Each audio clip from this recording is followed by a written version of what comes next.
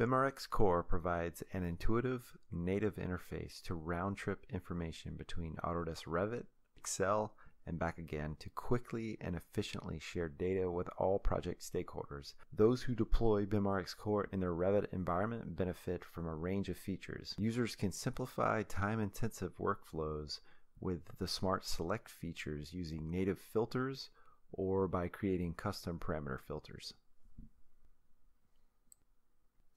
BIMRX Core is our response to a common pain point seen across the AECO and MEP industries. It is also the first of a suite of tools that will be built for the MEP and AECO professionals.